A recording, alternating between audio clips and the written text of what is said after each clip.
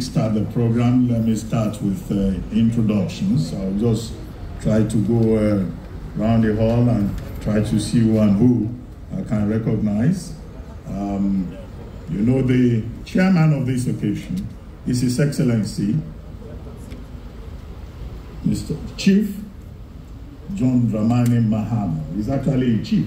He got uh, a chieftaincy title this March 2024. In addition to many other recognitions uh, that he has had. But I will have an opportunity to introduce him uh, fully later.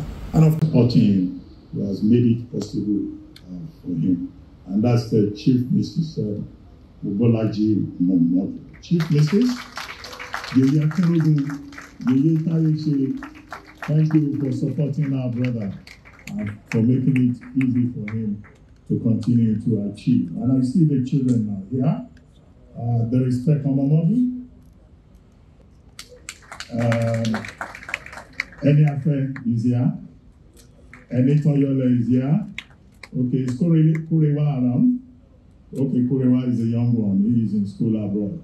I understand Ajiabola Shagaya is around. I haven't seen her. Oh, how are you, ma? Okay. okay. Uh, Senator Tokumba Afikiomi, I see you that schedule. Okay, very quickly. We are here to celebrate Chief Dele Momodu. He was born uh, 16 May 1960, as I pointed out, and today is the day.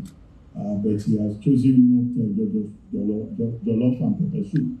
He has chosen the option of intellectual discourse on a very important subject, which is the politics of energy and the way forward.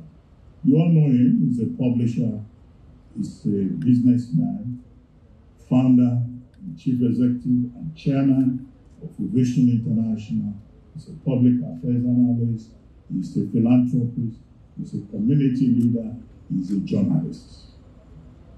Now, he was born in uh, Ife, May 16, uh, 1960. But one of the things that happened was that uh, by the time he was 13, his father died. But one of the major pillars of his life, his mom, resolved that he will be successful and his father's death will not affect him. Then, of course, uh, he went to where some of these secondary schools, you know, I don't like to mention some secondary schools because they are this way to secondary schools. Uh, I think he first went to Initial Grammar School. Uh, well, Initial, then uh, there's one other school he attended, Urugu.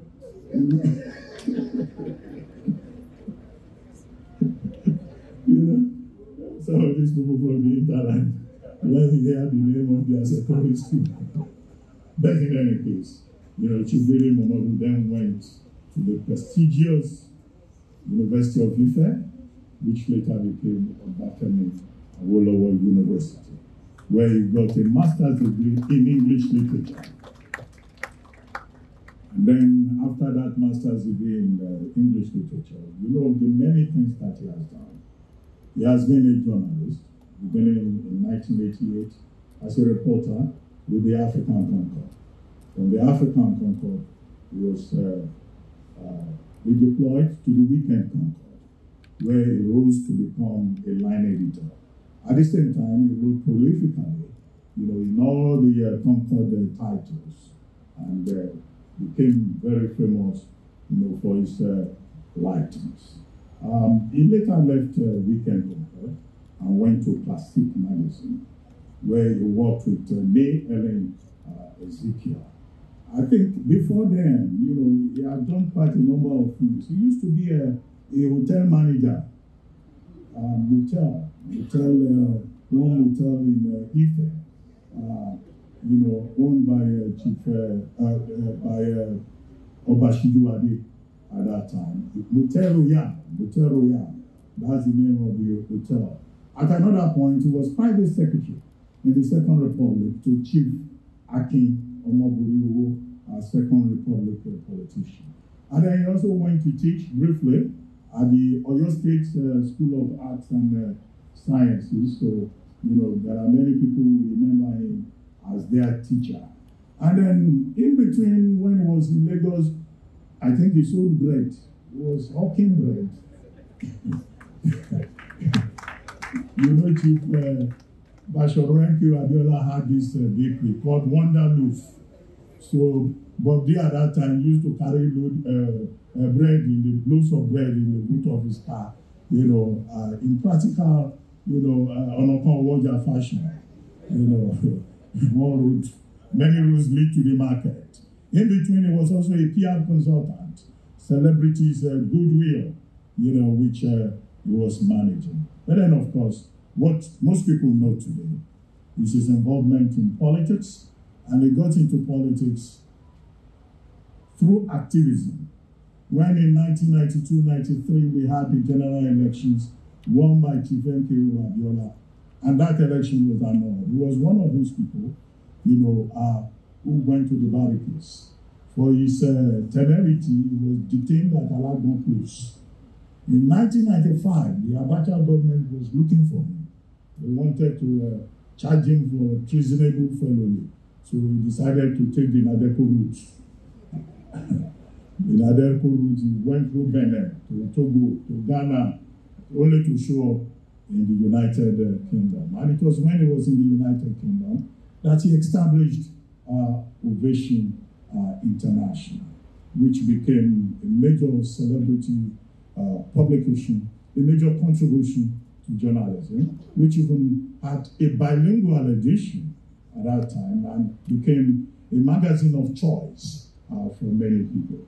Apart from the magazine, he also had Ovation Carols. Ovation Carols also became Ovation Carols and Awards. And of course, the Honorable B continues to write prolifically uh, in the uh, Nigerian uh, media.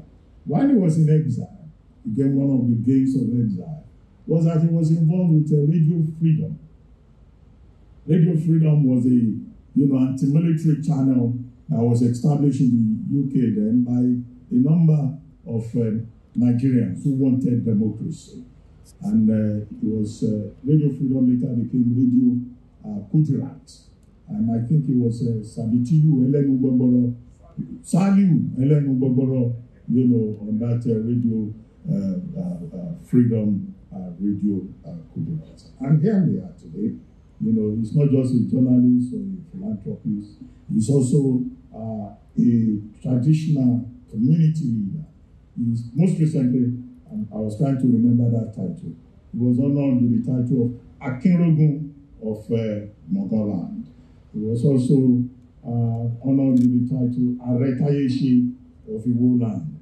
He is also Bashorun of Okela Orogun, and he has a honorary, honorary uh, doctorate in many letters uh, from uh, the University uh, Pan-African uh, University of Leadership in Accra, Ghana, in addition to many other honors. Well, distinguished ladies and gentlemen, Chief Dele Momodu, Chairman, Publisher, Investment International, may I invite him now to give his welcome remarks.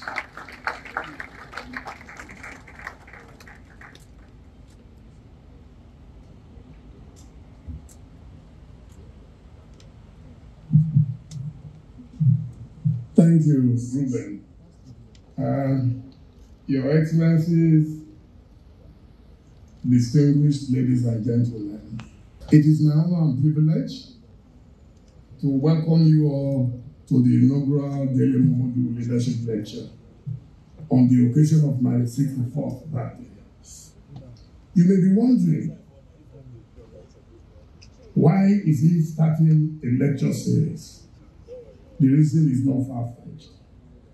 The clock is ticking, and by the grace of God, on my next birthday, I will be 65 and will undoubtedly qualify to be an elder statesman. In my moment of soliloquy, I asked, What next?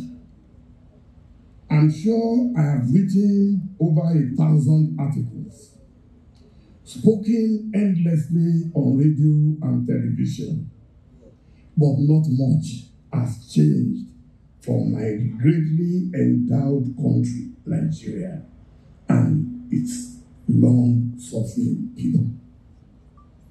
My verdict was that criticism alone cannot do the job. I decided to use my God given wealth of influence and confidence to reach out to our leaders, technocrats, and my fellow citizens in general. So, the next phase of my struggle would be to encourage some dialogue and conversations. I'm someone who follows his thoughts with action. So I immediately came up with the idea of a national and international lecture. And this is the first of its series.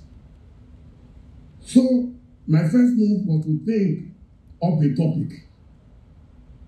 That was quite easy. My country is riddled with all manner of debilitating challenges, of which we are all guilty in various degrees of culpability. Rather than continue to have the blame game, of which again we are all experts at, and we're also champions of complaining and lamenting like the biblical Jeremiah. So I decided to do something.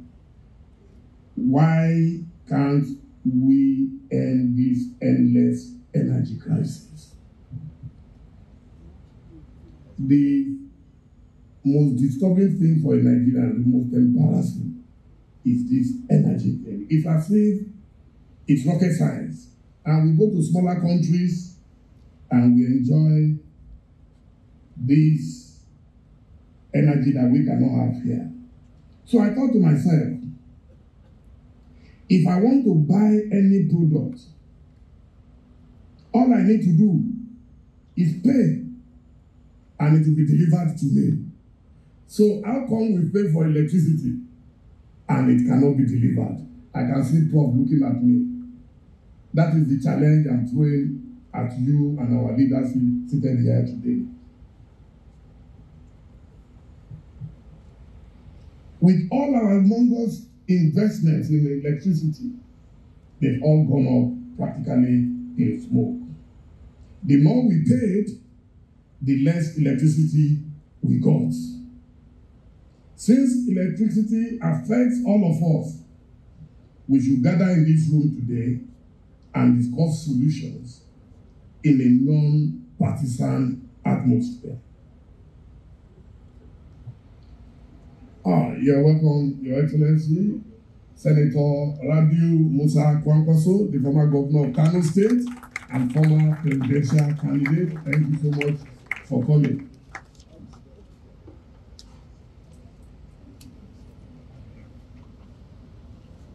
So, as I told former Vice President Atiku Abubakar a few days ago, let it be said that I played my part very well. And that should be the mission of everyone in this room. Play your part very well. So after picking the topic, I had to find the lecturer who must be well grounded in the subject matter. I thought of no other than my dear brother, Professor Bartholomew Nnaji, who is seated here today.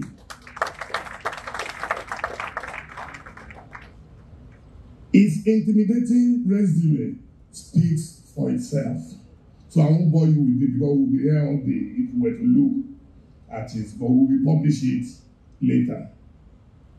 So on 20th March 2014, I took a leap of faith and sent a message to him requesting for just two minutes, a, a two minute call. Pronto, he responded. And we spoke for exactly two minutes. His words were truly encouraging and inspiring. Dele, you are not just a consequential Nigerian, but a consequential African. I will not say no to your request. And if here today.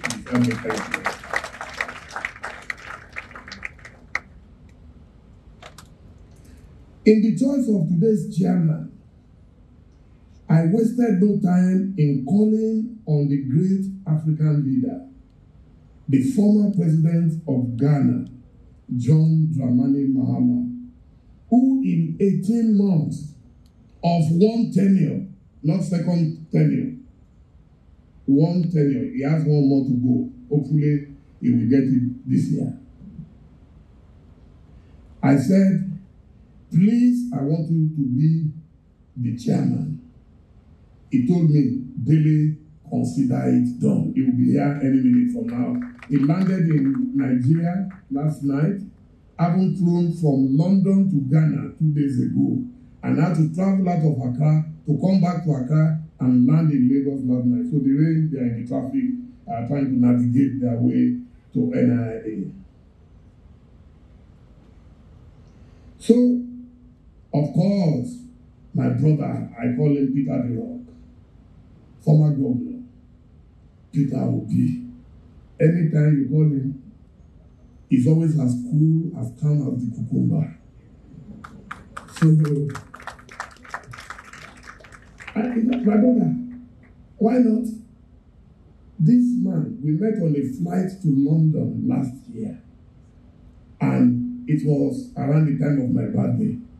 So I told him, I said, my birthday is on Tuesday. He said, oh, he's going somewhere. I think he went to Italy or something.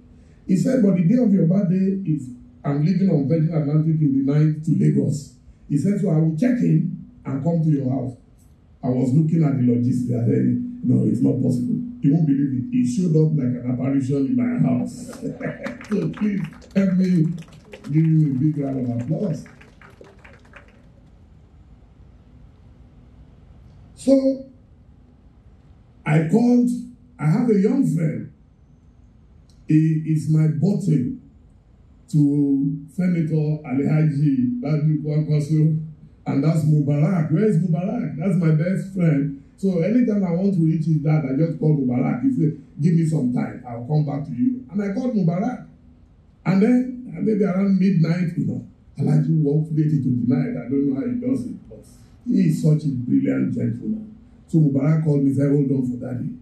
So I told daddy, I said, please, I want you to come to Lagos. I know how far Lagos is from Abuja. And these days, uh, for people who don't have too much, flying can be very uh, difficult. And he said, I will honor you. You won't believe it. Till Mubarak called me again a few nights ago. I was still doubting that maybe they will call me. In fact, when I saw his call, I thought he was going to say, Oh, sorry, daddy cannot make it. Daddy is there. Please. This is one of the most powerful, one of the most dogged politicians in Nigeria. And I, I'm sure he's following in the robust tradition of Kano politics. Uh, the Malam Aminu Kano, the Abubakar Rimis, and I'm happy that we still have people like you in our political system. May Allah continue to bless you, sir. So, the next thing, I wanted a venue. Uh, you would have expected that maybe we go to a court and all that. But how do you listen to a good lecture in a too comfortable environment? So I said, no. I wanted a serious environment where everybody, oh, please help me welcome the former president of Ghana, John Dramani Mahama, please. Thank you, sir. I knew the, the rain did you some shaking, but uh, we are representing you. Fortunately, my speech is the first, so you haven't anything, sir. Thank you, sir. Uh, yes. So I settled for a place as the Nigerian Institute of International Affairs, which I like to call our own Chatham House.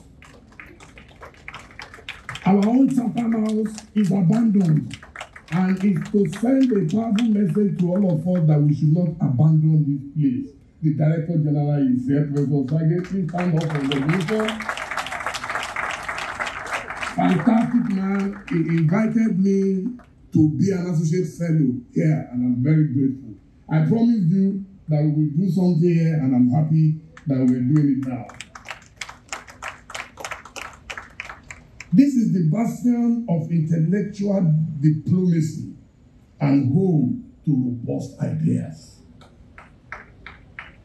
I knew if auditorium was not in top shape, but this would be an opportunity to address the ugly attitude of ignoring our age-old institutions by making my own contribution. So, as a man of modest income, you must have read my letter. I'm proud to say I'm a man of modest income. I offered to buy two new air conditioners.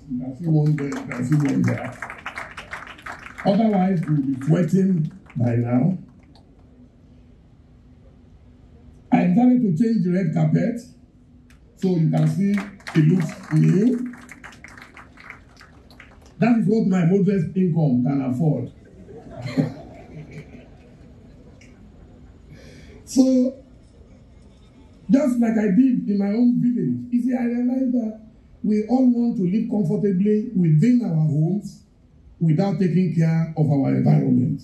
So, in my village, in Ieve, in Northern East local government of Edo State, I had to tar the road to my village, to my home in the village. You won't believe it. Because otherwise, all of us will buy navigators and be navigating through undulating roads. So, that is what we did. Then, beyond these cosmetic arrangements, there was something more important to me. In 1994, on this very podium, this was where Chief Moshood Kashimawo Olawale Abiola, my adopted father, attended his last corporate event, which was hosted by Oduka Odagena. So for me, it brings back those memories. And I'm happy to announce that I have in this audience his daughter, who happens to be one of my biggest fans. I don't know what I have done to deserve it, but I have to do. Abiola, please stand up. You know, Abiola, you know, it's a television celebrity, extremely brilliant like, like brilliant like his dad. And then I have a young friend who had to skip school today just to be with me. I didn't know until his mom told me, and that's Abiola's grandchild, Tarek. Please stand up for recognition. You know, you don't know how you affect people when you do things. So he insisted he must come with the mom, and they are here today. That's how I operate. If I believe in you, it doesn't matter. I will follow you to the depth of the ocean. President Mahama knows that.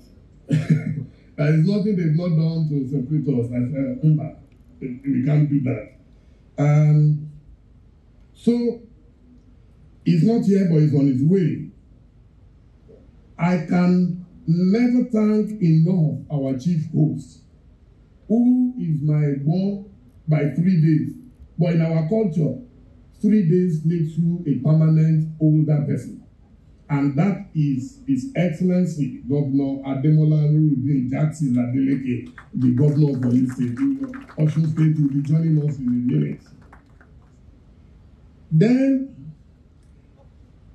I needed a brain box.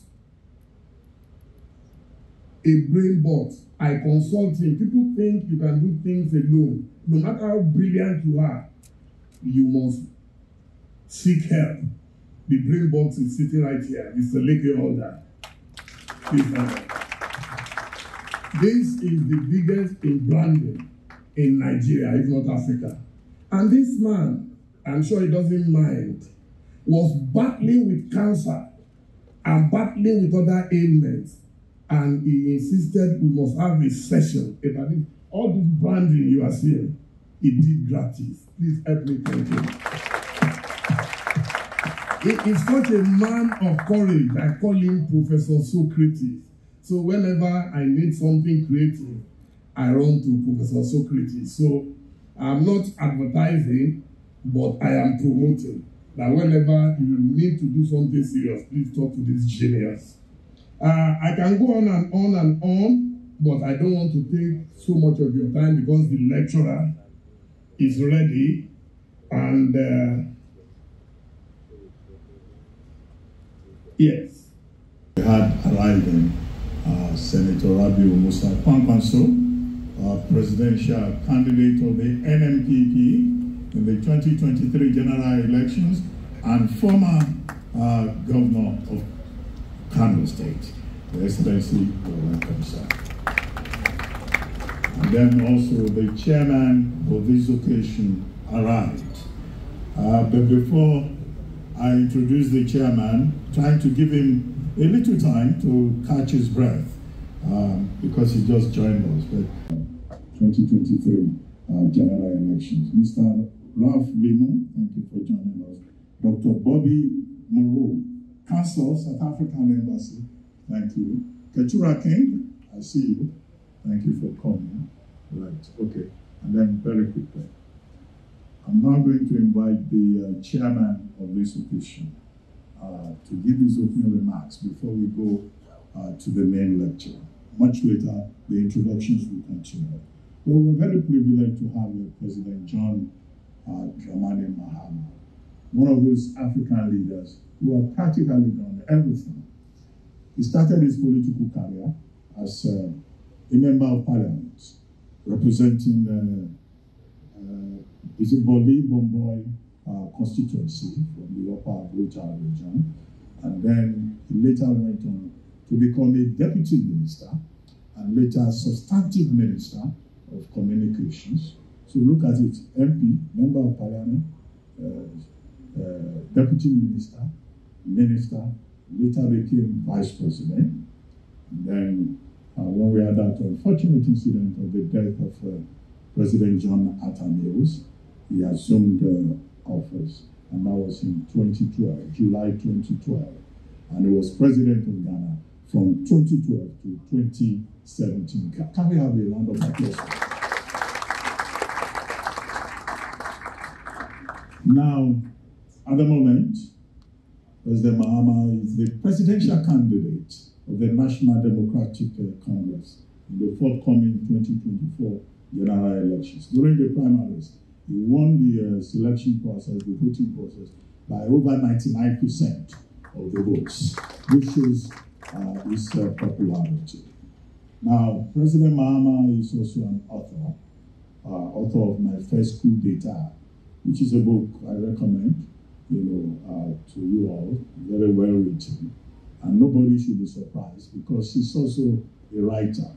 You know, he used to uh, uh, used to run a column in one of the newspapers in Ghana uh, titled Mahama's Hammer. well, no, no, no innuendo intended. but in addition to this, he has also served Africa, particularly uh, in various capacities. He's been chairman of the uh, ECOWAS, uh, ECOWAS uh, the regional body. Uh, he has led missions to elections, and he was the first Ghanaian president who became president, who was born after Ghanaian independence. Uh, and then, of course, continues to be honored all over the world, and he has very strong connections with Nigeria. He was uh, given a honorary doctorate degree, for example, by Ekiti State University. The, the Faculty of Management Sciences of that Ekiti State University is also named after him. So in addition to many international, you know, uh, honors, awards, and recognitions. I'm President Mahama here as chairman at a discourse on the politics of energy and the way forward. I mean, we could not have chosen a better chair. Because the subject is a subject that is very familiar, that resonates with the good people of Ghana. There's something in Ghana they call Dumsor. Dumsor means power cuts. And it was uh, a very serious problem between 2012 and 2017. Now, up to now, this is 2024, Ghanaians are still talking about the effect of Dumsor on businesses and lifestyles and productivity. So you see, we have a lot in common with, uh, with Ghana. President Mahama has invited to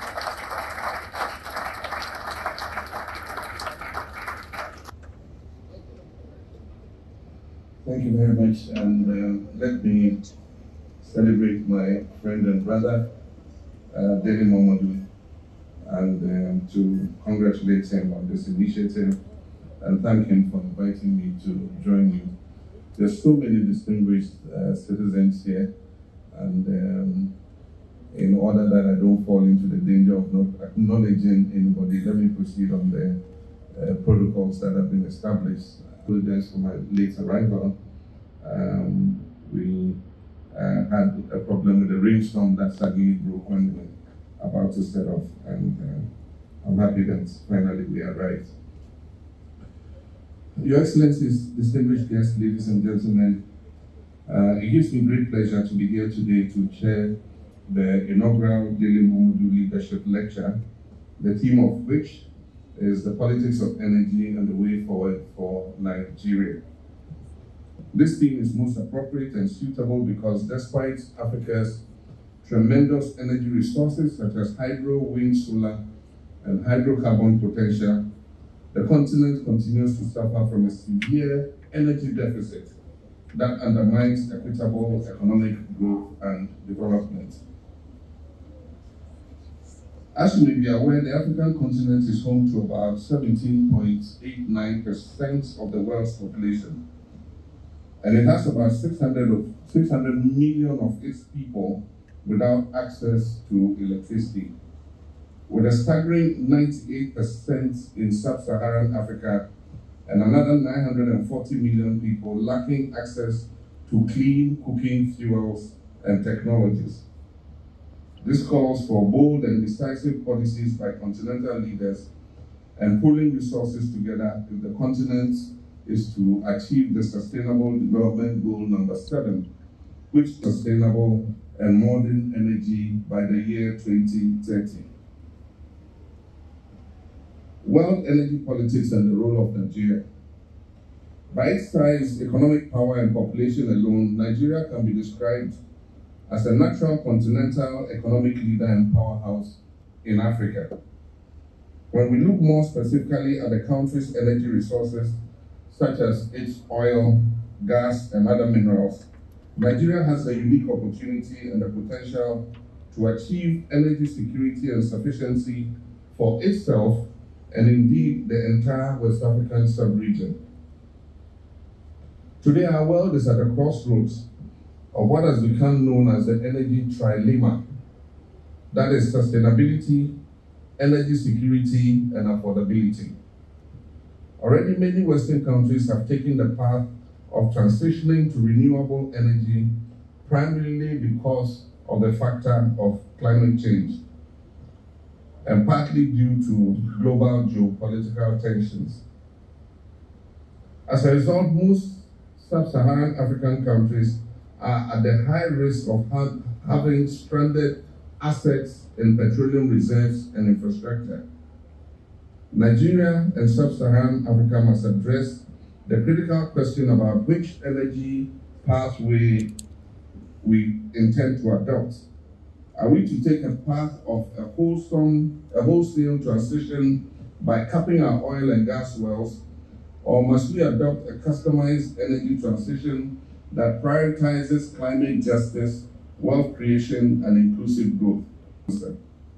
And sub-Saharan Africa, especially West African sub-region, is looking up to our big brother Nigeria to make this decision. And this is the moment Nigeria must show leadership in the global politics of energy. Ghana's power sector has evolved over the years with the first power plants, the Akosombo hydroelectric dam, which currently, currently produces 1,020 megawatts capacity, constructed under our nation's first president, Osagyefo Dr. Kwame Nkrumah, in 1967. In 1982, the Kpong Hydroelectric Power Station was commissioned, and this increased Ghana's installed hydro generation capacity by another 160 megawatts. Although the Akosombo and Kpong dams were designed to provide adequate electricity generation into the foreseeable future, Ghana suffered its first power crisis in 1984 following a severe drought, disrupting the generational capacity of the two hydro dams. And despite the with increasing energy demand coupled with unpredictable hydrology, dependence on the country's hydro potential as a sole source of electricity has proved untenable. And therefore, a decision was taken to diversify the nation's generation mix by introducing thermal power and other forms of energy to augment the hydro capacity from the 1990s. Solve a crippling energy crisis and as um, our um, compare said, it's popularly called Dumsor in Ghana. Dum means off, so means on. So it means off and on. That's the literal translation of uh, Dumsor. I don't know how you say it in Nigeria, but I, I remember when I was here, it says, never don't take power. As a result of this crisis, and I was president then, I led the fastest mobilization of thermal power in the history of Ghana, mobilizing about a thousand megawatts of emergency thermal power to the country's generation mix by the time I left office in 2017. Mindful of the need to attain fuel supply security and reliability while addressing environmental concerns, the government of Ghana initiated various policy measures to ensure that the country derives maximum ben benefits from its newly discovered oil and gas resources by ushering in what we called the gas to power era. This was uh, uh, evidence in the establishment of the Ghana National Gas Development Task Force to review and propose approaches to ensure full utilization of the country's gas resources through a gas commercialization project in 2009. And this culminated in the completion of the $1 billion Atuabo gas processing plant in 2015 and is located at Atuabo in the Ellembelle district of the Western region to process, transport, and market Ghana's domestic natural gas from Ghana's Jubilee and 10 fields to meet domestic and industrial needs of the country. Following the discovery of additional gas resources in the offshore Three Points area in 2009, we decided to leverage the World Bank and other partners to undertake the US $7.7 billion Sankofa natural gas project by constructing an integrated offshore oil and gas processing plant to supply additional gas capable of generating 1,100 megawatts of thermal power.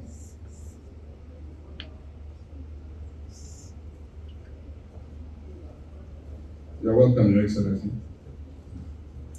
These policy interventions have resulted in domestic gas accounting for about 82% of Ghana's thermal requirements and 40% of domestic LPG, 80% of all electricity is generated using uh, liquid natural gas. The other 20% continues to rely on fossil fuels. So the plan going forward is to be able to cover the total generation with liquid natural gas 100% before the year 2030. The decision to switch to gas as an alternative to light crude oil has undoubtedly resulted in increased fuel supply and reliability and significant cost savings for the country. For instance, in 2022, 107.65 billion scf of gas was exported from Ghana's oil producing fields for power generation and industrial uh, consumption. This is equivalent to 200, this is equivalent to 20 to gas is estimated at 1.34 billion. It means that if Ghana was continuing to use light crude oil instead of natural gas, we would have had to spend 1.54 billion dollars uh, over the period. Has enough dependable generation capacity at 5.45 uh, 5,454 megawatts. And so the current Dumsor that we're going through is not because we don't have the generating capacity, it's because we don't have enough fuel to be able to meet the demand. And so current generation capacity stands at 5,454 megawatts for the, both for domestic consumption and Ghana currently exports power to neighboring Togo, Burkina Faso, Cote d'Ivoire, and Benin within the framework of ECOWAS cooperation. I'll touch a bit on the West African power pool in a minute. Ladies and gentlemen, on the local front, an aggressive rural electrification policy launched in 2009 increased electricity access rates in Ghana from 60.8% to over 80% in eight years. The solid foundation we laid has resulted in an impressive 88.5% um, current access rate. It means that 88.5% of Ghanaians have access to electric power. And Ghana is on course to achieve universal access to electricity um, at the target date. Policy reforms have equally been at the center stage of our energy sector, with power sector reform dating back to the early 1990s by the Ghanaian government, resulting in the creation of an Energy Commission in 1997 as a technical regulator of electricity, natural gas, and renewable energy industries. And also the formation of the Public Utilities Regulatory Commission in the same year provides guidelines for tariffs and charges on public utility services, especially water and electricity.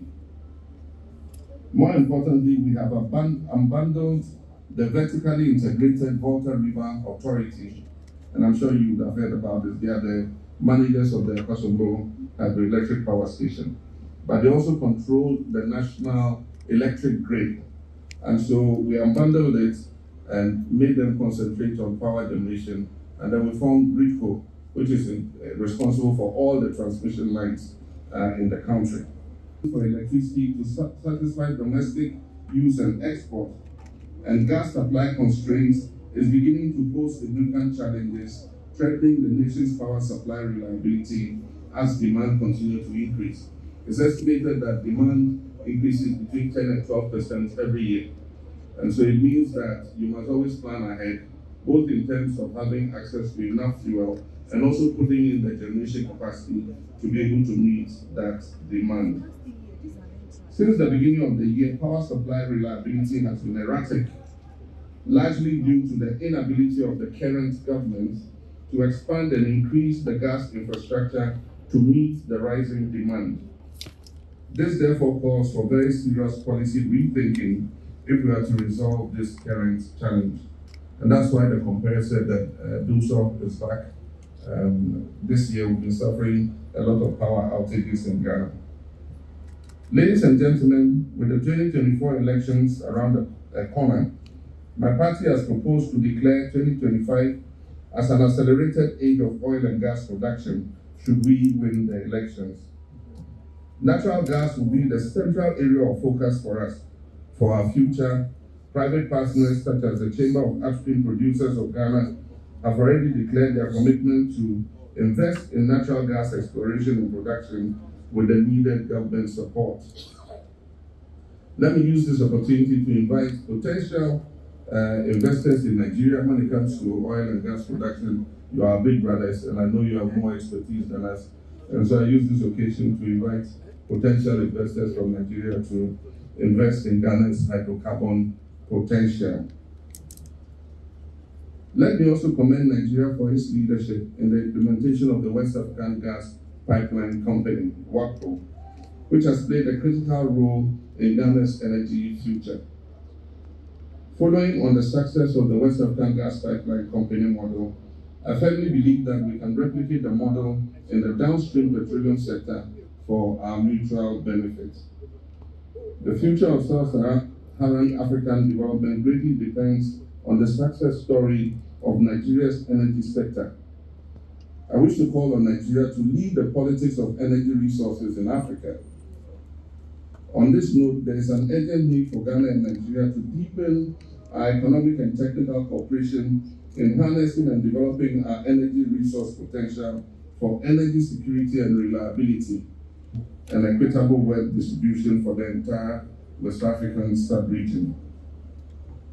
The establishment of the West African Power Pool, which I talked about just a while ago, the wholesale market presents an excellent opportunity for energy integration in West Africa. Ghana has already constructed a high voltage electricity transmission network that connects us to Togo, Benin, Burkina Faso, Mali, and Cote d'Ivoire. So it makes it possible for us to evacuate excess power into the grid for export to any of these countries.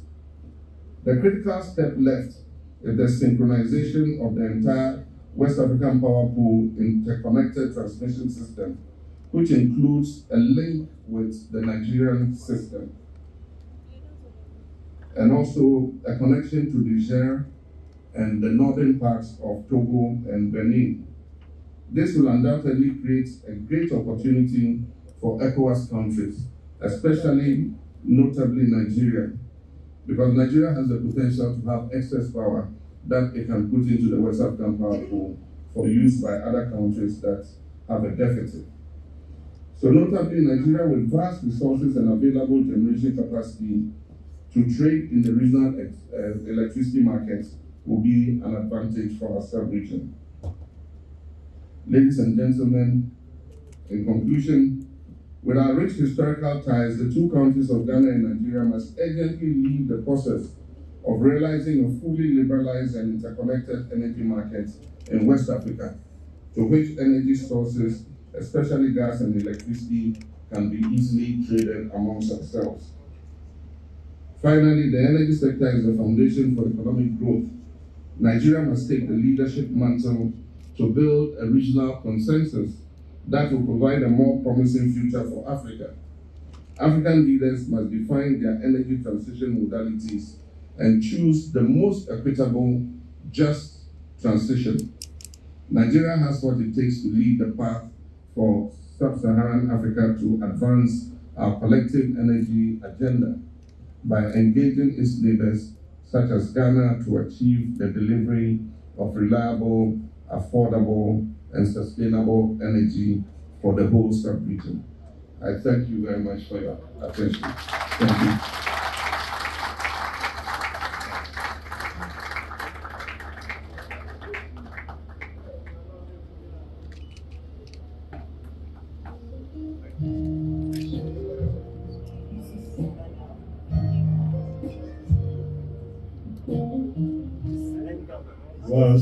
Tells me that round of applause wasn't loud enough. I wasn't here. The big takeaway for me is what His Excellency said in the energy transition.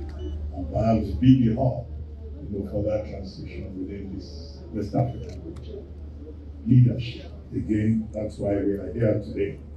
Now, as uh, President Mahama was making his presentation, we had the arrival of the chief host of this event, His Excellency, the governor of uh, State, the performing and action governor of Osun State. Please listen to me very well. If you go and use another phrase, you are on your own. His Excellency Senator Ademola Jackson Adeleke the aṣíwájú of Ghana Congratulations on your title. And also, we also have the Royal Majesty Alayiruwa Abdulrasheed Adewale Akanbi, Emperor Telu, Yoruo of Yoruo, Kábíyèsí. And you know, you could be surprised that uh, uh, the first is here. Uh, Dele Momodu is the Ààrẹ Táyéṣe of uh, uh, Igbo land. And uh, Chief Mrs. Uh, Mobolaji Momodu is the Yeye Táyéṣe of Igbo land. Dr. Ruben Abasi. You are just exactly who you are. Uh, as a Wikipedia of uh, a lot of things about the nation and the world. Thank you so much.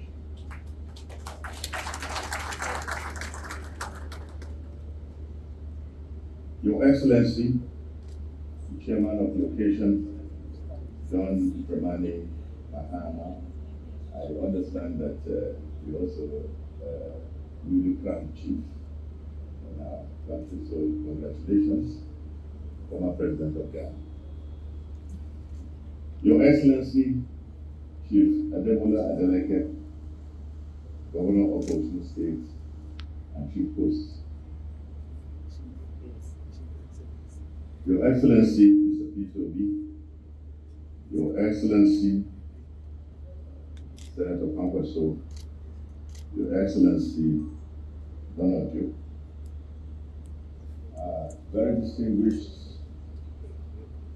ladies and gentlemen, I'd like to plead your indulgence to rest on an already established protocol, as we say here in Nigeria. So, um, I, just like the president uh, and chairman said, I don't want to fall into the trap of having to miss so many people because it is totally possible considering the number of very distinguished people here. Let me first start by congratulating Are Dele Momodu, Chairman of Ovation Group, for joining us. Actually, he, he said that he joined us four years ago on the sixth floor. Um, though you have many years yet on this floor, you have managed to have so many accomplishments on your journey up to the various floors to this one. So your friends, family, and I are wishing a life of happiness, prosperity, and good health to you as you climb to the rest of the floors that the Almighty may grant you. I also want to thank you so much for asking me to do this. The very first, uh, you know, this lecture series. And uh, what you said is so apt because we need to begin to really get into our minds about solving our problems. And the topic chosen must be appropriate, something that really goes to the heart of the matter. And I believe, uh, you have been a man of great character, not prone to bend to the whims and caprices of our nation's powers. I recall how you gallantly chose me as your 2012 Man of the Year, even though I had resigned as Minister of Power in previous August. You asked the then Governor of Rivers State, Right Honorable Rotimi Amaechi, to come all the way from, from Port Harcourt to make the presentation to me in early 2013. Such act stands you out as someone who looks beyond the chatter of our impious politics in whatever you do.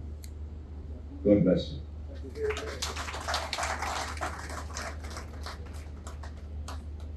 I like to think, and I think all of us who are here listening to President Mahama, I think that it is important for someone who occupies the sort of position that he has occupied and seeks to occupy to have good mastery of statistics and knowledge of what the subject is about.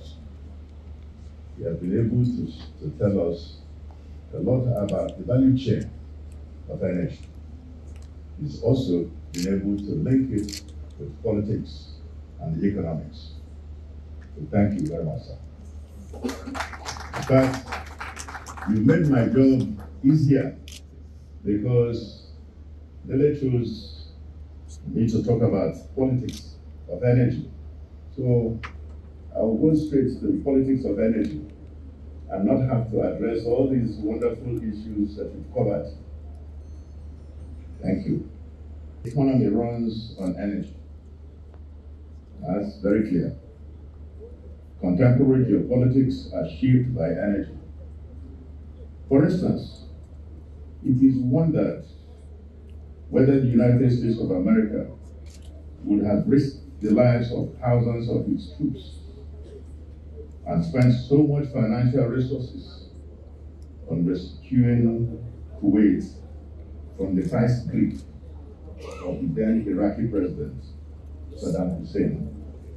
If the little desert nation with sparse population had not been full of petroleum. The speculation is important because when Saddam Hussein moved into Kuwait on 8 August 1989 and occupied it, which caused pandemonium throughout the globe, Liberia was about to start a descent into anarchy. Liberia is not just another country. It was an American colony created for free, free slaves, free African slaves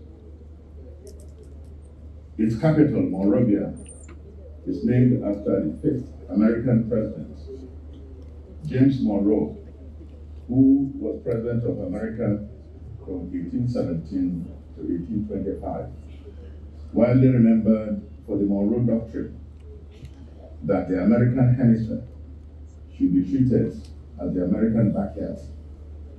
The doctrine precludes outsiders from meddling in affairs around the United States. Yet, Washington ignored the chaos and anarchy in Liberia that started on December 24, 1989, when Charles Taylor led the National Patriotic Front of Liberia to launch a war from Nimba County that shares border with the Ivory Coast. Nigeria was compelled giant of Africa, to not only move its troops, army, navy, and air force into Liberia, but also spend a fortune in the country under the auspices of Economic Community of West African States, ECOWAS. I understand that at the end of the war, Nigeria lost about a thousand officers and soldiers. That is, a whole battalion and also spent some $8 billion on the ECOMOG operation. Now, let us move away from events of the 1990s and the wars. Let us reflect on the international events of the last couple of years concerning energy. The West, particularly Western Europe, has been mounting a relentless campaign for cleaner energy.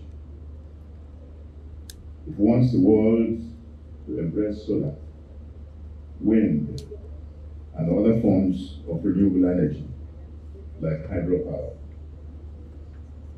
It has been asking mostly developing countries to abandon coal in particular, referring to it as the greatest environmental pollutant through carbon emission. It has been, it has even added natural gas to the list. So when the president was talking about natural gas, and the plan to uh, of his government to the wind to focus also on natural gas. Just to, to know that these people have added natural gas as a major pollutant. So it has added natural gas, all in an effort to make the world limit global warming to 1.5 degrees centigrade by 2030, as required by the Paris Accord on Climate Change of 2015. Something dramatic was happening in 2022. Following Russia's invasion of Ukraine, European nations imposed a series of sanctions on Russia. Moscow, in return, took punitive actions against the West. Western countries like Germany, which depended largely on gas exports from Russia, began to feel the pinch. That it had resolved under Angela Merkel to close that. Though there was no imminent threat to power shortage in Germany, Berlin chose to reverse its policy on coal plants rather than risk in any way the chance of its people suffering any form of electricity crisis. Germany was not alone. The United Kingdom, which had prided itself on shutting down its coal-fired plants and on building large wind farms, decided to resuscitate its coal plants. Why? It didn't want its citizens to suffer the 2022 heat wave and doing. A similar scenario emerged in France the same year. Faced with winter, which could hurt its people, Paris chose to extend the lifespans of its coal-fired plants. Though electricity from coal was responsible for only about 0.6% of national electricity in, in France. The French government had to extend the lifespans of coal-fired plants just to protect its people. The United States is proud that several of its coal-fired plants have been decommissioned. Coal used to account for 50% of American, America's electricity, but the figure has now reduced to about 17.8%, and it is expected that it may decline to 4% by 2030. Environmentalists are delighted at the rapid decline, but it would appear that decline has not been driven by as much commitment to environmental protection as by economics even though the Joe Biden administration has a special envoy on climate change. It is easier and cheaper to run a natural gas fired plant than a coal fired one. As a fact, in fact, a coal fired plant, let's use Nigeria, uh, uh, would cost you anywhere from 1.3 so a gas fired will cost you anywhere from 1.3 to 1.5 million dollars to install one megawatt. There is the argument that repurposing the plants from coal fires to nuclear will reduce the cost of building brand new stations by 30%. A nuclear plant requires a fraction of the fuel required by, say, a coal-fired plant to produce the same amount of power. And the primary raw material used for nuclear energy is uranium, which is mined and therefore constitutes environmental degradation. Of course, it is not only nations that have displayed self-interest in dialogue over fossil fuels. Take the case of the five superstar oil and gas companies Shell, ExxonMobil, Total Energies, Chevron and British Petroleum in the vanguard of the campaign for clean energy and paid a price for it. While it was posting big profits, its stock performance on the exchanges was flat. This changed with the assumption of office of Wael Sawan, a Lebanese Canadian, as its chief executive officer in January of 2023. Sawan has left no one in doubt that his loyalty is not to environmentalists, but to shareholders. Photographer, your camera is Shell has resumed heavy investments in oil and gas. It has reduced its climate ambitions by scaling down its goal of reducing the net carbon intensity of its energy products from 20% to 15% by 2030. Its investments in renewables came down from $3.5 billion in 2022 to $2.5 billion same year in, in 2023. Shell is not alone. The other British superstar petroleum company, BP, has taken similar steps. Its investment in low carbon energy are seven times less than its investments in fossil fuel, while those of Shell are five times lower. Total, Total Energy of France in April 2023 announced a reduction of its climate ambitions from 35 to 40 percent in, in 20, uh, in emissions in 2030 to 20 to 30 percent the range in the same period. The Shell CEO has an interesting explanation for the new ongoing huge investment in oil and gas, energy security. I believe what he is really saying and so you're on your own.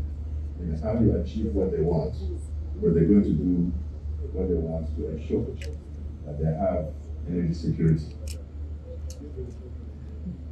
Now, renewable energy has been uh, marketed as the silver bullet to climate change with electric vehicles, solar panels, solar batteries, wind farms, dams, etc. From China, like those from BYD, he worked, and therefore working very hard to produce more affordable vehicles. This is um, this thing has happened in America in the past in terms of uh, when they began to talk about emissions. So the Japanese were producing cheaper vehicles and also better emitting uh, uh, carbon emitting vehicles. And Americans had to go and compete and begin to produce them to catch up. So, um, what is more, there are not enough supercharger networks in the United States. To worsen matters, other electric cars could not recharge at Tesla's facilities until recently. They're beginning to uh, change.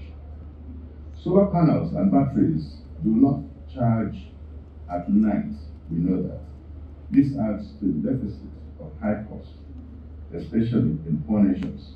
However, those deficiencies are hardly mentioned in mainstream Western media. It is like a wind farm works only when there is considerable wind. Uh, but this inadequacy is also not usually discussed. So you can imagine if uh, we begin to uh, rely on, on wind farms, there are only certain parts of Nigeria where this could work. Um, solar is something, uh, the solar the radiation intensity is also uh, an issue. So certainly in parts of the southern part, you don't have enough to power solar. It's not that you can't at all.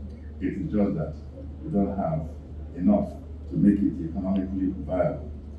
You can do you know, the rooftops and so on, but the big solar farms are more economical where the um, uh, the density is higher. So, a critical raw material used in the production of solar panels and batteries is lithium ion. It is a mineral like coal or crude oil. It is mined. The process of extracting it is environmentally hazardous as well. But this is not usually discussed. In Chile, where it is produced more than in any other country, nearby rivers have been polluted. Protests by citizens against pollution have been met by brute force by security agents, violating the rights and dignity of the people. In the Democratic Republic of Congo, DRC, where cobalt, copper, and lithium are produced massively, there are human rights abuses on an industrial scale. There is also child labor, in addition to other forms of labor exploitation. The beneficiaries are mostly Western multinationals. The DRC government, towards the end of April 2024, hired the services of a team of French lawyers to write to Apple Corporation the American technology giants, accusing it of benefiting from illegal actions in recent parts of its country, where lithium ion and copper are used in manufacture are used in manufacture of electronic gadgets like our smartphones and uh, solar panels, as well as the batteries where they are mined. Rebels are active very much so in those parts of the DRC. You can imagine, because the, the big companies that rely on this hire rebels also to be uh, part of the business. In New York State, where the government plans to reduce greenhouse gas emissions by 40% by 2030 and by 85% by 2050, from 1990 levels through solar and wind power. There have been protests against the conversion of farmlands to solar and wind farms. There have also been protests against the destruction of biodiversity and the habitat generally. And this is in America. The most difficult and controversial issue deliberated on at the Conference of Parties, popularly known as COP28, which held in Dubai from uh, December 13 last year, was the fate of fossil fuels. At the end of the deliberations, participants agreed on a shift that will happen in just, in a quote, just, orderly, and equitable manner. No date or timeline was given. But it was provided that developing economies, particularly those that depend on fossil fuels, be assisted. In doing so, the level of development and poverty of each, each country will be taken into consideration. We are yet to see how this is going to happen very interesting, wouldn't it? Much as the agreements and wording of the resolutions are considered a win-win for those who wanted an immediate ban on fossil fuels and those opposed to the idea completely, it is often wondered whether the participants could have taken a, a more realistic, different position. The world needs environmental protection but the world just cannot do without fossil fuel. As experience has demonstrated in just last two years, European nations that have been in the forefront for clean energy found themselves returning to coal-fired plants when their interests were threatened in the wake of the Russian invasion of Ukraine two years ago. The United States relies on fossil fuel, fuel substantially. China, India, Japan, Russia, and others still rely on these kinds of fuel. Only a handful of nations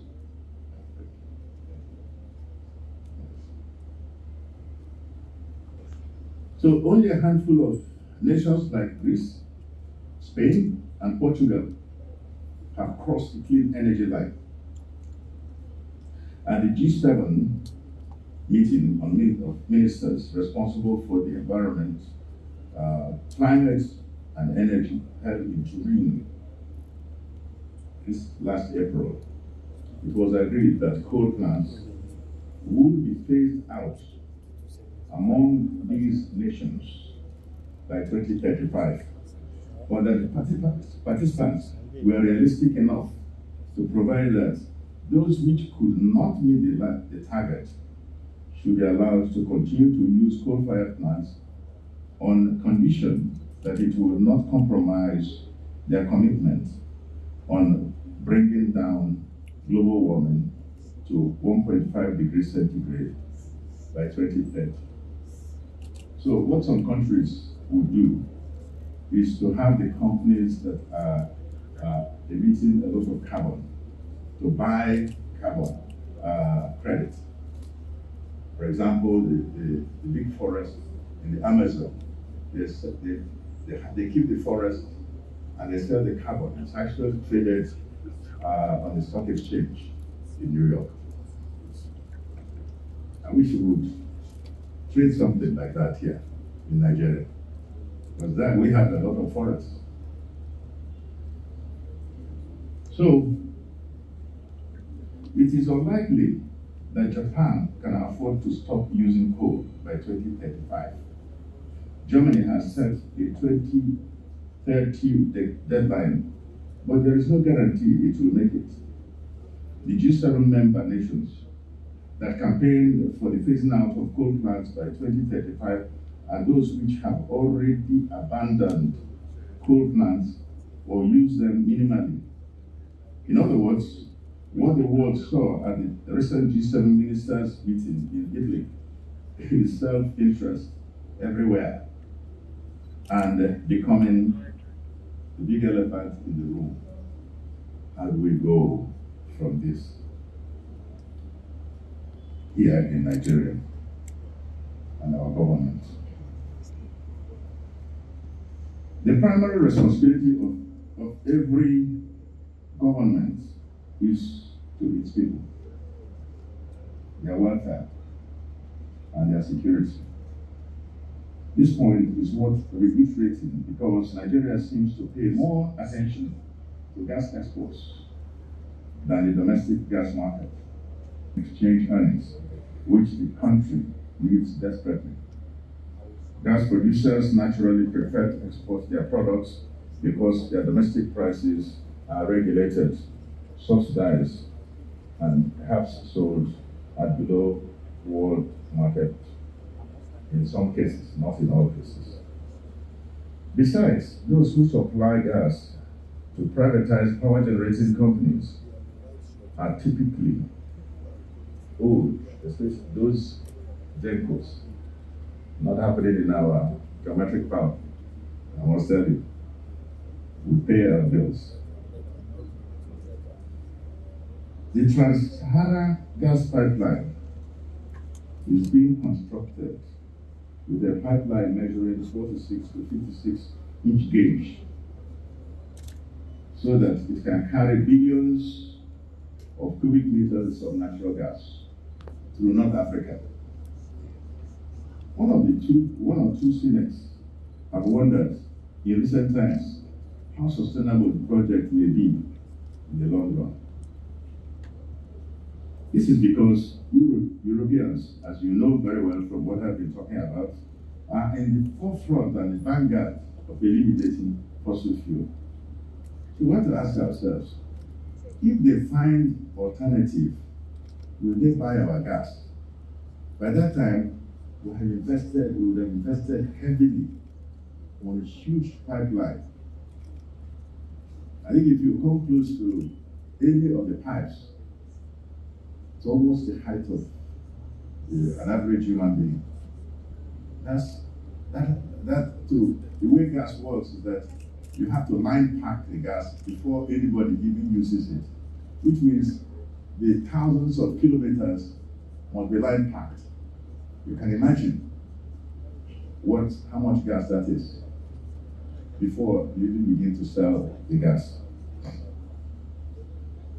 So, as Nigeria plans to embark on massive export of natural gas, the country is facing severe gas shortages at home. When General Sani Abacha military regime intervened in Sierra Leone in the 1990s under the ECOWAS rubric to flush out the military, uh, new military regime and restore democratic rule there, Nigeria was described by a section of the international community as a country that was exporting what it did not have democracy, but important, what it ought to have in abundance, namely petroleum products. The description may well fit the gas sector today. Nigeria has more than 200 trillion cubic feet of untapped gas reserves. It is estimated that convertible gas is at least 139 trillion cubic feet. It is one of the world's leading countries gas.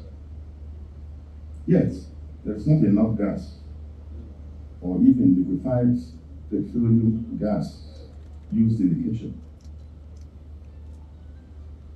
Even in Nigeria's liquefied natural gas company, there are now longer periods of electricity blackouts throughout the country. This is despite the spirited effort of Nigerian National Petroleum Company Limited, the Ministry of Power and the Presidency, making a lot of effort. Matter of fact, just yesterday, uh, I was very happy to hear that uh, the president inaugurated two major gas projects in the country. Uh, one at uh, Kwale and the other at Ohaji in Imo State. These are very positive steps. We need to have more and more of these so that we can change our direction. I believe, really, and frankly, that a state of emergency needs to be de declared in the gas sector. The declaration will save the power sector and allow the government and the other stakeholders to address fundamental issues in the gas sector in a robust manner. The issues will include how to strike healthy balance between producing gas for export and gas for domestic consumption. Gas is equally needed in both markets. Now, another critical area in Nigeria's power sector is the transmission network. I believe that having the national grid the way we have it is still going to be a problem. First, it is not robust, it's not well uh, structured. And my, my advocacy is for um, multiple grids, semi-autonomous, but connected to the national grid. So that the national grid still operates and it's made more robust. It will begin to cure the, uh, the regular incidents of uh, failure of the network. When I was in government, we embarked on a project, or rather we embarked, we actually got, got Federal Executive Council to approve what we call a super grid, a 765 kV network that will kind of ride above the existing 330 kV network So you know, right now Nigeria has 330 kV and 132 kV, but none of them really robust. But the 765 kV network would be very important to, to take uh, power from power plants such as the Mambila that's been in the works for a while. Over 10,000 megawatts of power will come from Mambila. So the question is, which uh, which transmission infrastructure will take that power? Suppose that we, we finish it.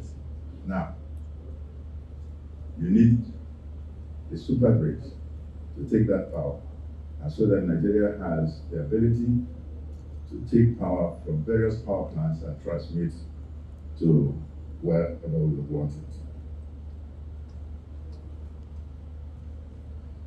Now, I am happy that the current minister of power, Chief Adebayo Adela, Adela, Adela is reviving this uh, uh, this super grid.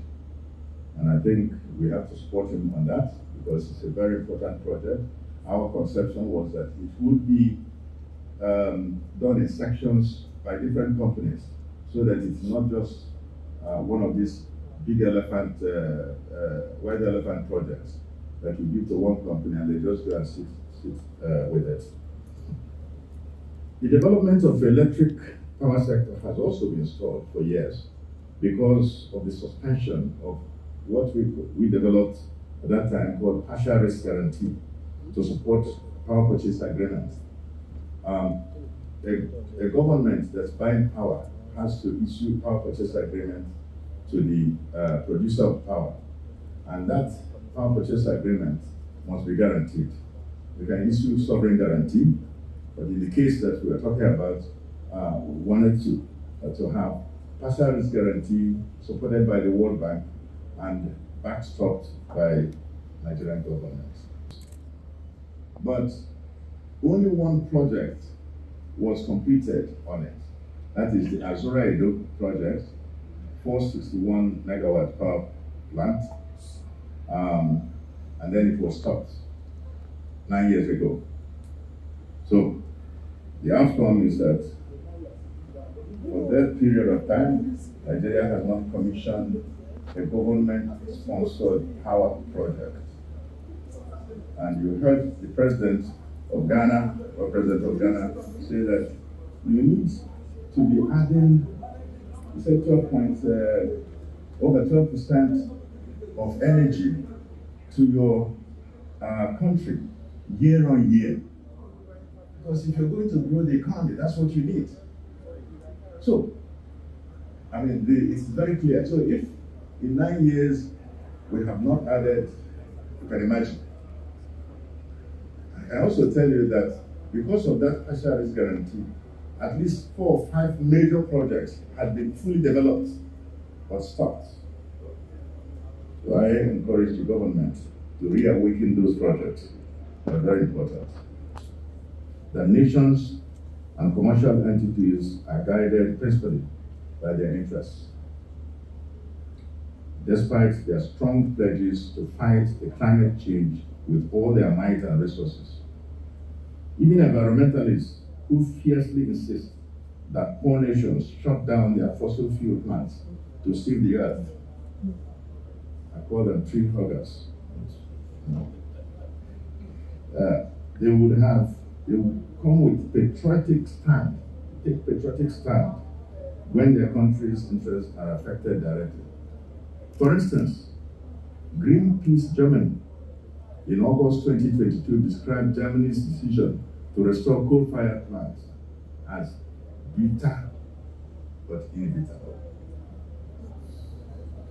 So, even in the unlikely event that rich nations win themselves off fossil fuel within the foreseeable future, the earth will continue to be polluted because most developing nations do not have the resources and technical know-how to transition yet to cleaner energy.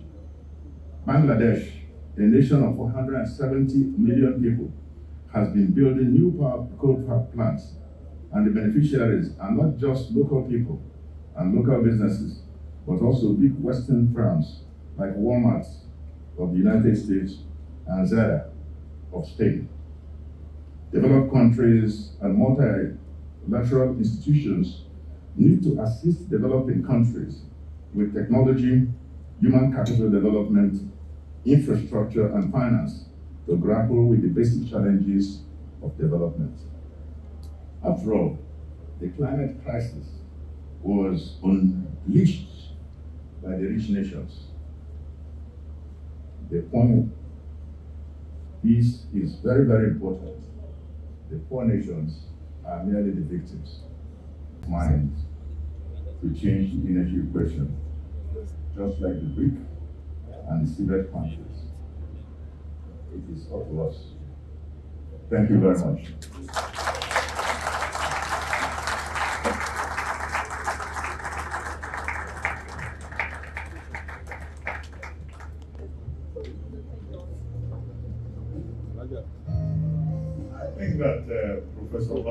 Deserves a standing ovation.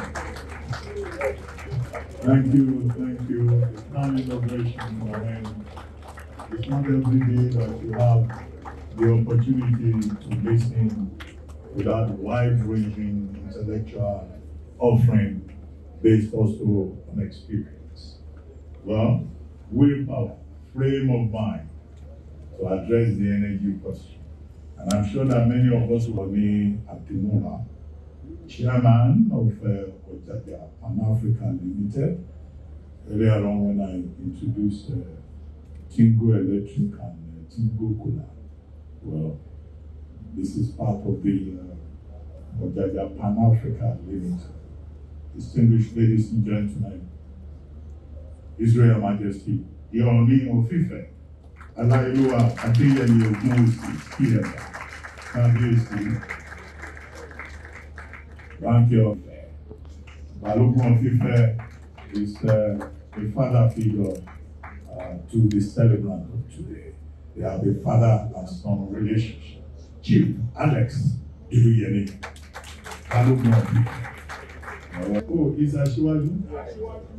Oh, okay. Okay. Then there was a time uh, Chief William was Aro. Aro Aṣíwájú. Yes, Aro Aṣíwájú.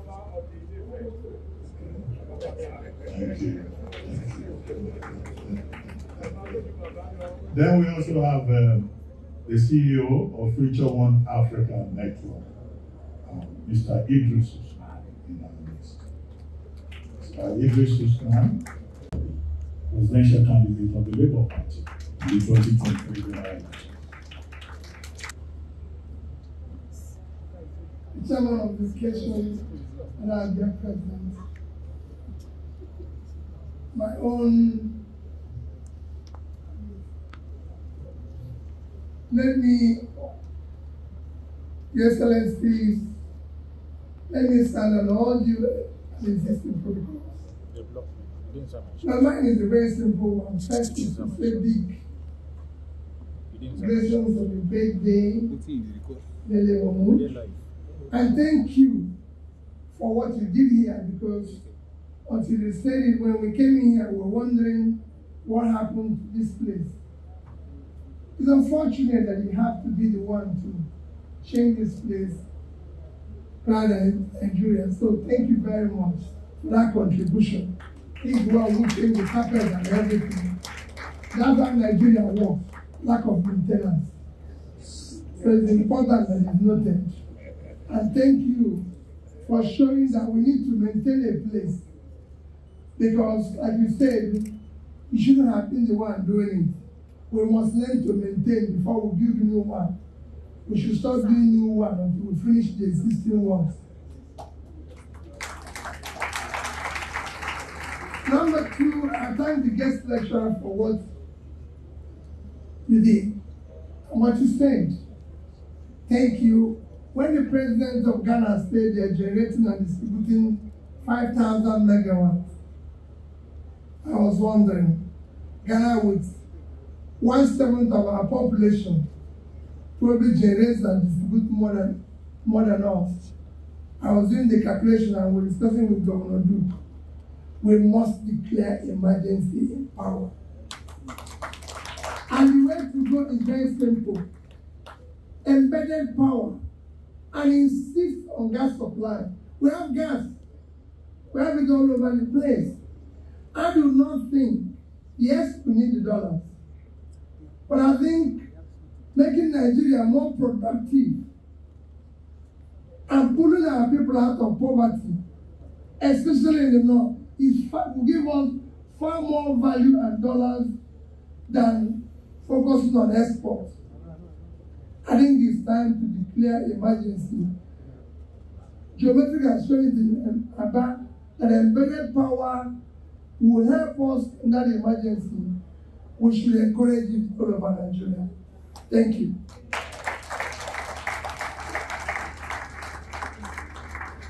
of Dr. Rabiu Musa Kwankwaso, presidential candidate of the NNPP in the 2023 election, former senator of the Federal Republic, former governor of Kano State.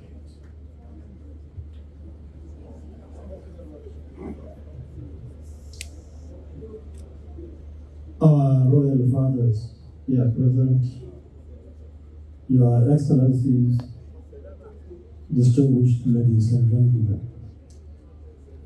Let me start by thanking Almighty God for giving us this opportunity to be here. And also it's an opportunity to congratulate our brother, our friend, Dele Momodu, for attaining this age. I say on behalf of all of us, once again, congratulations to you.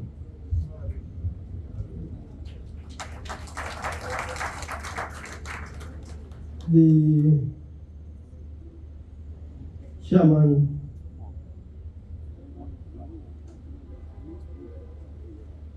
of the occasion, the former president of Ghana, I'm sure many people are not aware that Nigeria is the second home, and in Nigeria, Kano in particular. And because of his living in Kano, he speaks Hausa more than many of us.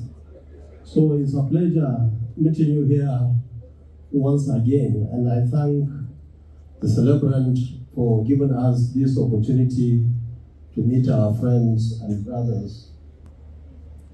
Guest speaker, thank you for being enlightened.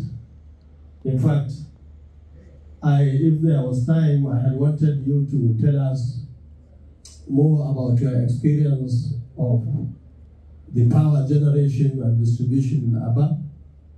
And it will be a good opportunity, especially for businessmen and women, not only in Nigeria, but across the world, to achieve much more. Let me at this point say that, uh, especially the Governor Osun is here, to say that uh, the importance of electricity cannot be overemphasized. That was why when I was governor in Kano, I selected two out of 23 earth dams that we have in Kano. And they installed some equipment, and I'm happy to say that we were able to set up the power generation in Kano on Challawa Gorge and Tiga dams, producing or potentially to produce 35 megawatts. We completed the job in 2015, and I'm happy to say that I left 43 million US dollars in our account for the incoming governor to do the generate, I mean the distribution. Uh, of course, uh, not much was being done, but I'm sure our governor now, uh, Abba Kabir Yusuf, will complete. You are laughing as if you didn't, you knew that you couldn't find about the 43 million naira when we came back. So Governor Adeleke should look at it, all other governors for that matter should look at the possibility of generating power because it's not a matter of only state, I mean the federal government alone. We have to put all our heads and hands together to ensure that there is adequate and of course enough electricity uh, in this uh, country. For purposes of time, I want to say to celebrate once again congratulations and we wish you many more years of productive services to our nation. Thank you and God bless you.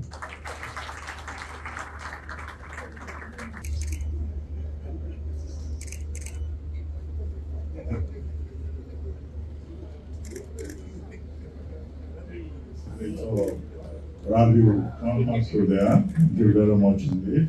We're still trying to manage time.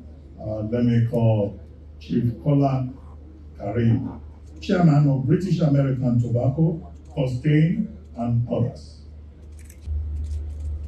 Your Excellencies, distinguished ladies and gentlemen, I would like to stand on all existing protocol. First and foremost, I would like to say congratulations to our brother, Chief Dele Momodu, for his birthday. The topic is a very important one when we think of Nigeria, think of Africa, and think of where this continent of Africa is going. If you think about politics, connect the nexus with energy, you talk about strength or lack of. Let me unpack this. Nigeria, 37 billion barrels of oil reserves, 206 TCF of gas reserves. Then when we connect that to what the possibilities are, it's endless. We had the chairman of the occasion talk about energy and Nigeria lead in the pack. We had Professor Bat in Nigeria talk about the power of unveiling that strength in the character of what Nigeria could be. And let me connect this. If Nigeria puts the directed investment in building up our gas reserves and gas resources, Nigeria will be a standard power in the forefront of what President Mahama said as a leading light in Africa. Why? If you connect this, West African gas pipeline is already built. If we extend that as they're proposing to do, to go all the way to Morocco connecting to Spain, the Trans-Saharan gas pipeline connecting through the Sahara, again through African nations into Europe. If we go to the east, connecting through Central African Republic going down south, imagine unleashing 206 TCF. That is production of gas volumes for over 50 years. Imagine what that would do to 54 countries on this continent. Another strength we must think about, and this is what I'm going to leave all of us with. If we see Russia with the geopolitical situation in Europe, the Nord Stream 1 and Nord Stream 2 gas pipeline, Russia was selling $500 million of gas per day into Europe. Just think about that connectivity and the strength of what President Mahama said and what our discussing leaders said, where Nigeria could be in the forefront of driving Africa's growth. Thank you very much. Mr. Donald Duke, former governor of Cross River State.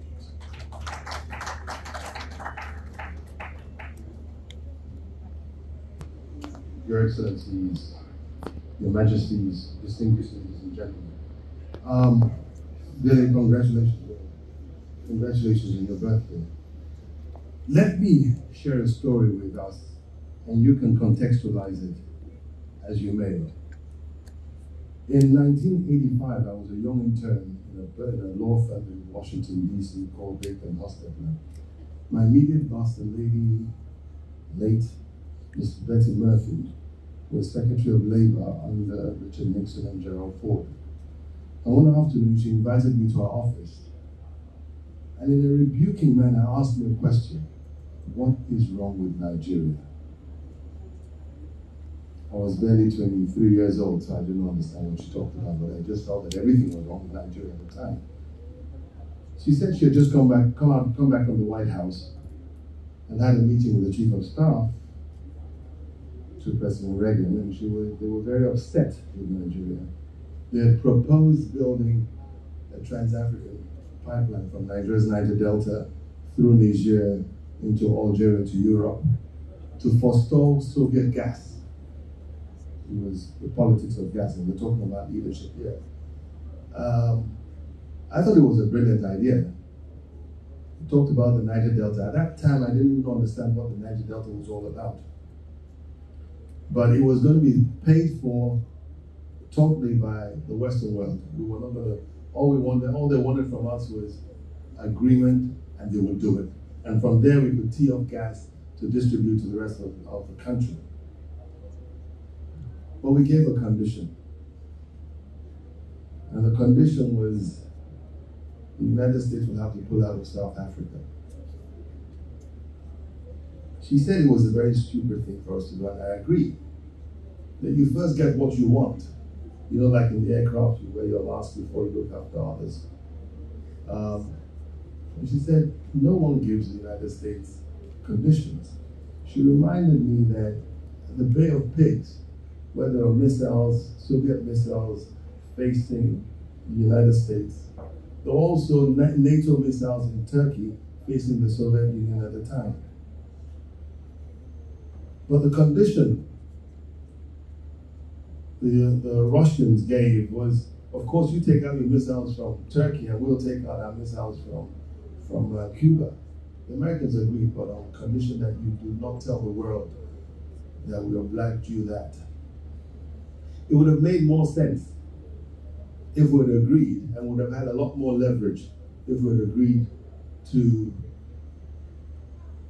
allow the pipeline go through. Today it's a difficult situation because you're going to go through Niger. Niger is fully aligned with the Soviet, with Russia today. I do not think they would even allow that to happen. But this is a nation that at one point were flaring 2.5 billion cubic feet of gas daily. That's an equivalent of 25 million liters of diesel. You think of it, for over 40 years, we were flaring, burning 25 million liters of diesel. Talking about the abundance of water, foolish person. Thank you.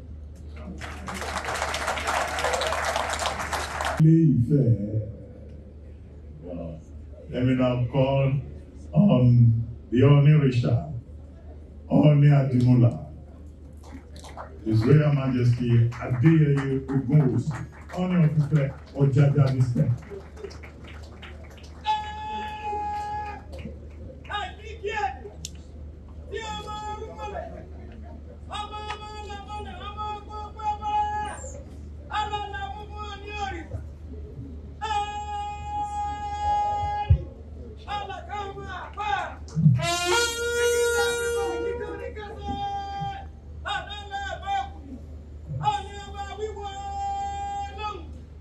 Excellencies, the celebrant of today, our dear brother, I think I see you more as Nigerian than even Ghanaian.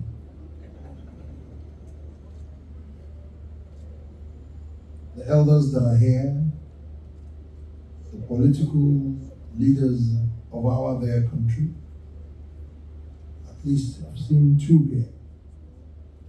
The Kwankwasiyya movement and uh, our amiable tsunami from Labour Party. Please give all of them a resounding round of applause. I even noticed something about the Kwankwasiyya movement their logo, the red and white. I look, I saw that it's actually indeed red and white.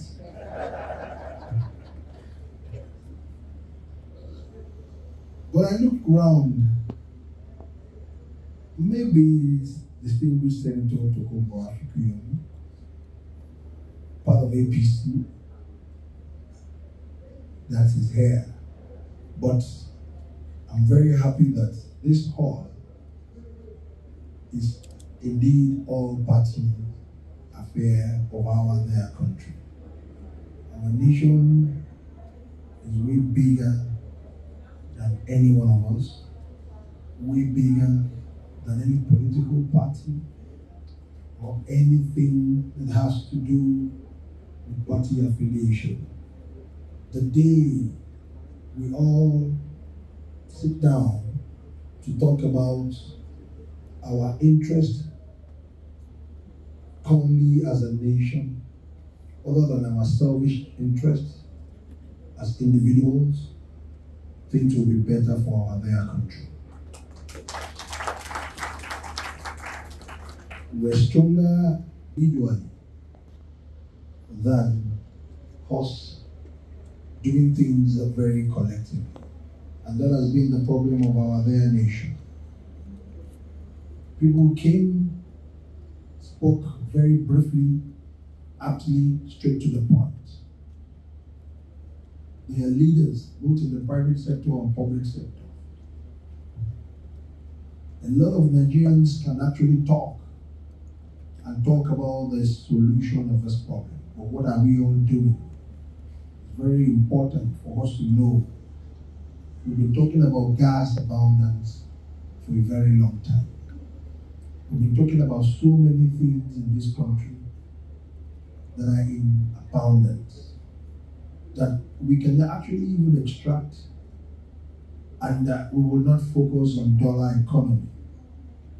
But the truth be told, the day as a nation that we start doing things not individually, the day we realize that this country is bigger than all of us, a good example of the celebrant today that you are bringing all political parties together, irrespective of your party affiliation, that we will realize that Nigeria is bigger than all of us, then we will be a better nation.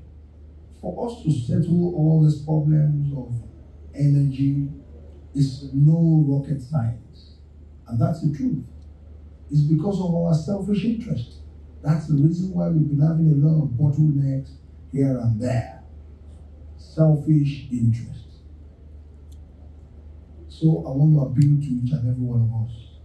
Talk is cheap. Enough of talking and talking and talking as a nation. Let us look at this nation beyond all of us, bigger than all of us, and let us jointly and collectively look at things that will be betterment, that will be in good structure and in a very futuristic manner that can better the lot of even generation yet unborn. On this day, I want to thank God Almighty for the celebrant's life. What you're doing, you have actually displayed selflessness that is very rare in our country by upgrading this all. Let each and every one of us pick our public utilities, whatever we can do. Government cannot do it all. Let us imbibe this culture. What the celebrant has actually done today, I want each and every one of us to give him a resounding round of applause. He bought new ACs and a new carpet and gave this place a very good uplift. So, as a nation, what are you doing? God bless you all and God bless Nigeria. Thank you very much.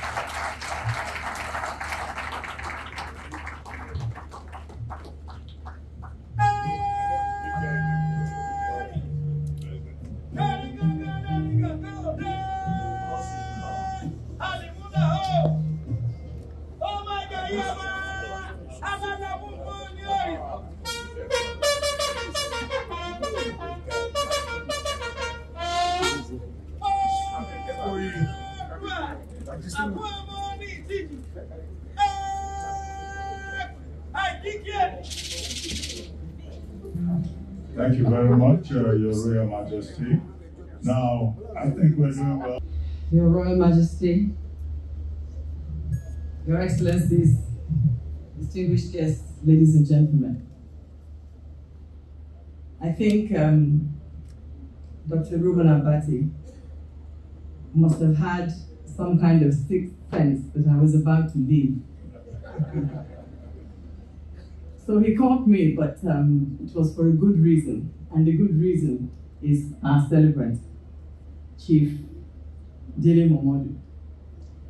Well, it's a goodwill message, and I actually have nothing more than goodwill for him. I have admired him for a long time. He has been, uh, has been a good brother, a good friend, a good professional.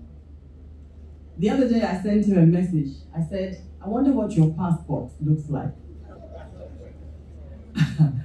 it just occurred to me, you know, when you think about all the places that he has been to, and I, I think of all the stamps, and I wonder whether we have more stamps than passports. But anyway, I want to congratulate him for the wonderful work that he has done over the years. I think he's one of the most consistent journalists that I can say we have in this country. He's also very professional and he is a creative journalist. He sees opportunities to report and inform, to educate and entertain in virtually every situation in which he finds himself. I wonder sometimes whether he sleeps. And even when he's asleep, what kind of dreams does he have? Is it possible that the, the dreams are more than the reality? I'm not sure. But we need to congratulate him. We need to celebrate with him. We need to wish him God's continued guidance and protection and blessings. And um, I want to say publicly that I will probably never forget something that happened some years ago when both of us happened to find ourselves shooting a commercial for a particular product in South Africa. We were in Cape Town and we got to the place, we got to the hotel, and we were sorting out checking in and that sort of thing. And Chief Momodu said, Auntie, don't imagine you are going to pay for your hotel accommodation. Please, that's on me. So let me take this opportunity to say publicly, thank you very much. God bless you.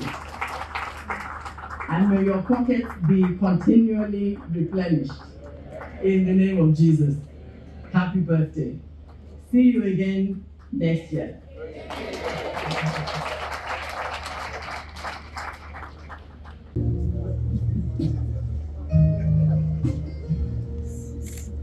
Okay, we're trying to uh, keep faith with and uh, this uh, high chief of the media in Nigeria is polyglot and speak totally God knows how many languages. Mr. Bisi Olatilo, founder of this country. May I please ask us to put our hands together for this gentleman here. The youth every day. Well done, Reuben Abati. Now the man was celebrating today. I am only 70 years. The man is 64. And when he sees me, he goes down to greet me the way we do to show respect for me. May God bless you, Dele. What do we say about Dele that hasn't been said here? And will have to be said continuously. My prayer for you, please, just keep on the thing you'll be doing. They're just increasing by today. Now, Professor Barth Nnaji, congratulations for the revolution you have ignited that has brought power to the whole of Abia. I'm hoping that you'll ignite it to all parts of Nigeria. Ka nkene gị n'Igbo jido nke iji mana ndị onye ijido nke dị mma a na-etinye na-ekpere ka ọ na-aga oge biko biko gụọrọ ya aka biko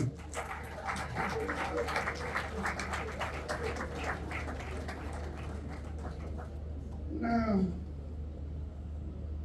ladies and gentlemen, of course, you know that I present a program called POS, It's just one hour a week on people's platforms. But like you heard my younger brother say a while ago, I run a 24 hour platform in the last seven years. And you guys, you know that power is hardly there in Nigeria.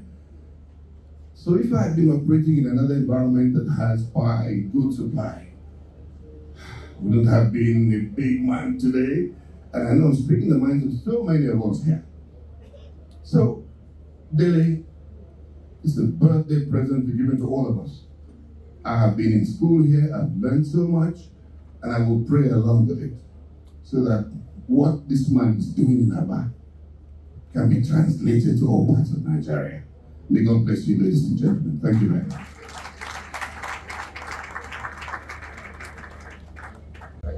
Now, to bring uh, the occasion to a close, we have the chairman's closing remarks, and after that, Peko Momodu will give the vote of thanks. Chairman's closing remarks. President Mahama, Distinguished guests, and you are indeed excellent and distinguished.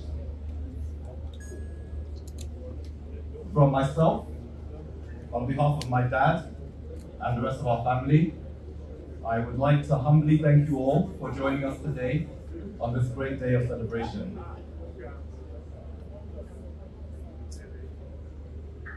My dad is a man who continues to show a great love for Nigeria and for Africa.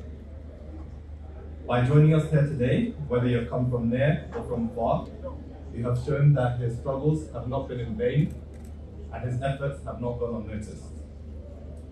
So we are very grateful to have had you here today. And once again, thank you very much indeed.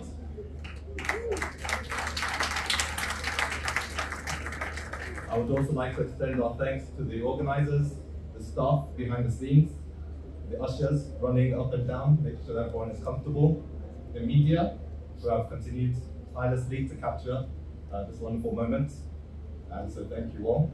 And just to wrap up, once again, that happy birthday, to see